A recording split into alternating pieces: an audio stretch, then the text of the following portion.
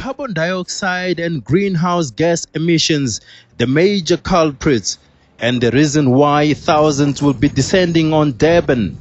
The host city is pulling out all the stops to manage emissions. Up for grabs are CEBA credits. The money used to buy these credits will go towards greening projects in South Africa.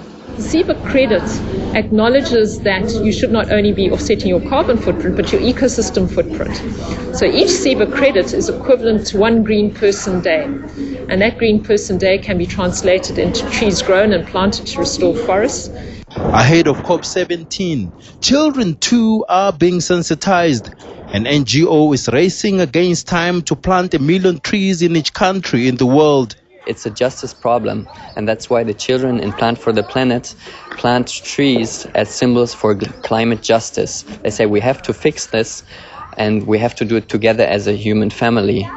I learned that many people do pollution and put waste in the air and litter. Now we are helping like the world to come to become a better place in planting trees.